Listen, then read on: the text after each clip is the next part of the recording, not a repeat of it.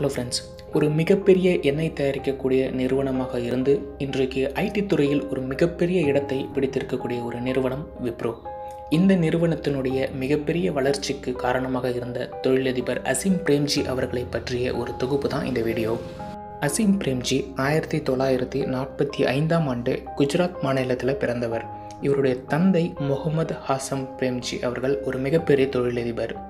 ஆயிரத்தி தொள்ளாயிரத்தி நாற்பத்தி ஐந்தாம் ஆண்டு இவருடைய தந்தை முகமது ஹசம் பிரேம்ஜி அவர்கள் மும்பையில் வெஸ்டர்ன் இந்தியா ப்ராடக்ட்ஸ் லிமிடெட் அப்படிங்கிற ஒரு பெயரில் ஒரு நிறுவனத்தை தொடங்கினார். ஆரம்பத்தில் இந்த நிறுவனம் காய்கறிகள் மூலமாக நெய் வனஸ்பதி சுத்திகரிக்கப்பட்ட எண்ணெய் ஆகிய பொருட்களையே தயாரிச்சிட்டு இருந்தாங்க. அசிம் பிரேம்ஜி தன்னுடைய இருபத்தி ஓராவது வயதில் அமெரிக்காவில் இருக்கக்கூடிய ஸ்டான்ஃபோர்ட் யூனிவர்சிட்டியில் பிஇ எலக்ட்ரிக்கல் இன்ஜினியரிங் படிச்சுட்டு இருந்தார். அப்போது அவருடைய தந்தை மரணமடைந்த அந்த செய்தியை கேட்டு இந்தியாவுக்கு வந்தார். அதற்கு பிறகு படிப்பை தொடர்வதற்கு அமெரிக்காவுக்கு போகவே இல்லை.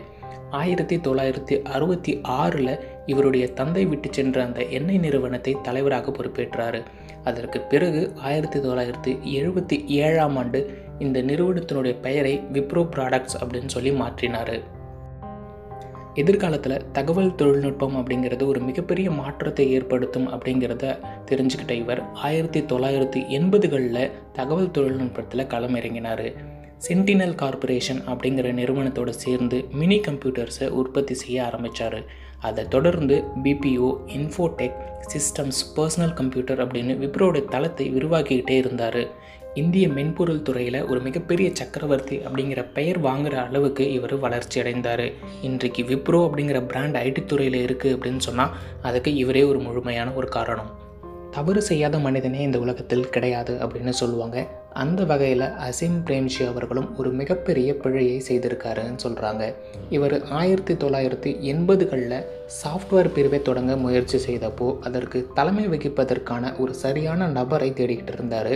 அப்போது பட்னி அப்படிங்கிற நிறுவனத்திலிருந்து ஒருத்தரை தேர்ந்தெடுக்கிறாரு. அவரோட பலவிதமான ஆலோசனைகளும் செய்து முடிக்கிறாரு. பட் ஆலோசனையினுடைய முடிவில் அவருக்கு அந்த வேலை வாய்ப்பு கொடுக்கப்படலை. அந்த நபர் வேறு யாரும் இல்லைங்க.